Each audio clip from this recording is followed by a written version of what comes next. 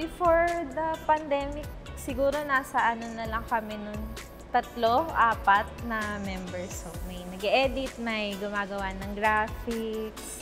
Tapos nung during pandemic, syempre, ah, nawala yung, nawalan ng trabaho yung iba. So, nag-focus kami dun sa recording, sa ginagawa namin ng mga recording ng sermon. Yung una naming sinubukan noon parang old camera lang and the basic phone, yung ka- basic camera phone. And then wala pa kami nung malinaw na audio kung ano lang yung nasasagap ng camera namin. Yun lang talaga yung ah, nakukuha ng audio namin for our video.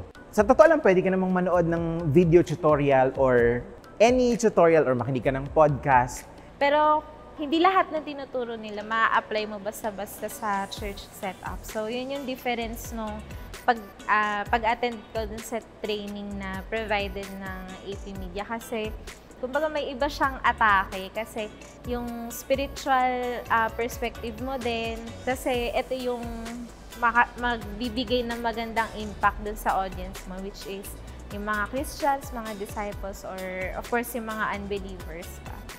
One of the topics I like about na na-discuss dun po sa AIM training is the first day topic about stage design. I'm nakita ko po kung paano siya pwedeng mag, ma-incorporate kung paano po niya may step up and may improve po yung online worship services natin sa mga lights, sa mga design na pwede nating ilagay sa stage natin. Ang pinaka-favorite ko po yung graphic design. Kasi po talagang humanga ako kung paano yung tamang, ang dami palang material sa Canva na pwede palang i-connect sa live stream. Parang nagkaroon ako ng idea na pag-edit ah, para mas maging maayos yung mga nakikita ng mga viewers sa live stream. Ah, so yung sa AIM po, I'm interested po kasi dun sa OBS. Kasi matagal ko na po siyang naririnig sa sa YouTube. Isa daw po yan sa mga ginagamit na for editing and live streaming.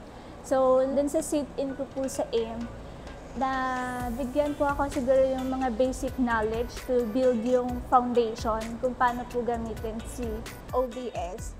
imagine um, you're in in your church you're recording online worship services you're recording testimonies or you're even sharing graphics the word of the lord sharing graphics sa social media it can reach millions of people in just one click And we as a media team, we will help our church to really step up the game, not just for our local church, but really to advance the kingdom of God, to share the word of God. Nagkapasalamat kami dahil mayroong malaking tulong ang naginagawa ang AP Media para sa pag-develop, pag-enhance ng atin pong ginagawa ng mga online services o online church. Right after the training ay meron agad silang mga discussions at ang sinasabi ko, naririnig ko na ito, i-apply natin ito, gagawin natin ito doon sa kanilang mga narinig na mga training. Kaya maraming salamat sa Panginoon.